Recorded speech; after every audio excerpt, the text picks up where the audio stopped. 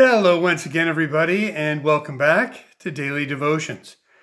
Our daily devotion for today, Wednesday, April the 13th, comes to us from the Apostle Paul's first letter to the church in Corinth. So we're looking at 1 Corinthians chapter 11, verses 23 to 26.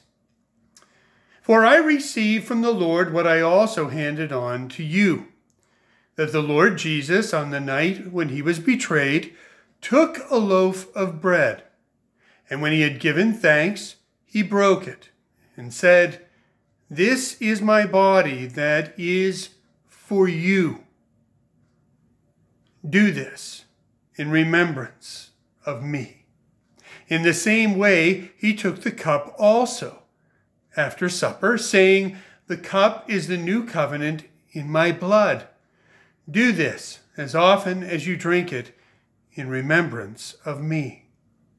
For as often as you eat this bread and drink the cup, you proclaim the Lord's death until he comes.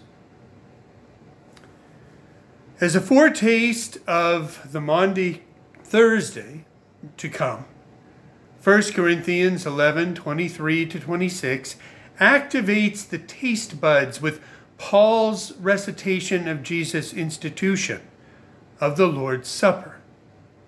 Bread is broken and ground into mushy goodness by the teeth. Wine is, is poured and washes lusciously over the lips.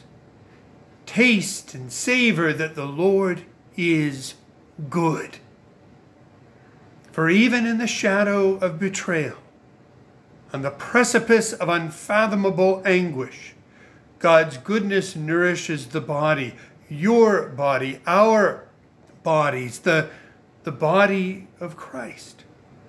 We cannot endure the stark reality of Holy Week without the sustenance of this holy meal. For it is true, as often as we bite into this bread, body and quaff the wine blood, we proclaim the Lord's death until he comes. This death promises to remember us to the eternal life of God. The invitation is given eat, drink, for here in bread and wine we taste the extraordinary promise, and we do it all in remembrance of Christ Jesus. Let us pray.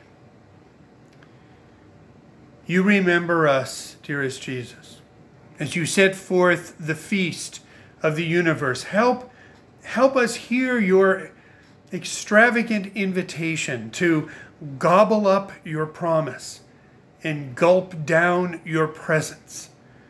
For these gifts are our food and drink for the hard journey ahead. Amen.